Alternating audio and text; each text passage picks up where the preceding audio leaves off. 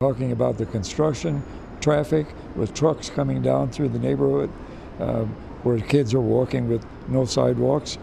And they're talking about extending that uh, construction for five years. We will replant trees. We are recycling trees to Okay. other developments to the extent uh, we are able. No one other person will have to uh, purchase flood insurance. There's no change to the maps. It's a FEMA map.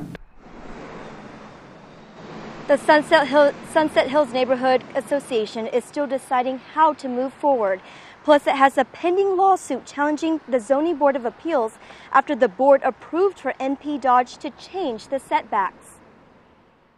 And a lot of that is based on the flooding concerns that we have for the neighbors, and how if you bring in, if you uh, change the setbacks from 35 feet to 25 feet, then you have to bring in the fill, that eventually that water will back up north of where the fill is brought in and cause a higher likelihood of flooding. The developer's attorney declined to interview after council voted, only telling me they are moving forward with the plans. Again, that is dozens of apartment units and single family homes.